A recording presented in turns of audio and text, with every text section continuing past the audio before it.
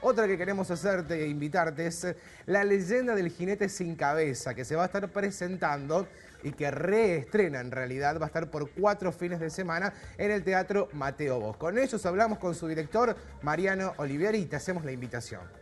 El jinete sin cabeza es una historia de miedo, nuestro jinete sin cabeza, digamos que está bastante distante de lo que es el cuento, pero tomamos el personaje que nos pareció bastante siniestro, ¿no? Y bueno, montamos algo que tratamos de de, sopasar lo que es la cuarta pared al público y generarle miedo, generarle temor.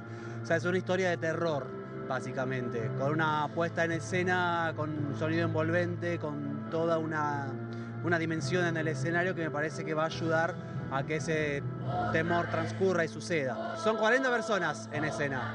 Eh, bueno, todos chicos de Rosario, preparados acá, formados en, en Rosario. Me parece que se van a encontrar con un espectáculo realmente muy grande, que está bueno poder verlo, que es una oportunidad para ver una producción de esa dimensión hecha en Rosario. Acá lo que tenemos, tuvimos que hacer fue dimensionar el escenario para que en el momento de dar terror el público pudiera mirar donde tenía que mirar.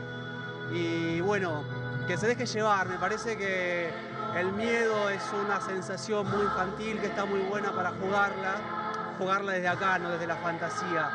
Eh, van a sentir sobresaltos, van a ver cabezas rodando, está bueno que, vengan y que la pasen bien. Al estar contado en formato de musical empezamos a trabajar desde algunas palabras o un, fraseo que a lo mejor se usaba en otra época, pero también nos teníamos que hacer entender, o sea que fue todo un trabajo desde la construcción del texto a partir de lo que había escrito Washington Irving, que es el autor, y lo que traté de plantear desde mi letra y las sensaciones que cada personaje tenía que, tenía que dar, que tenía que llevar.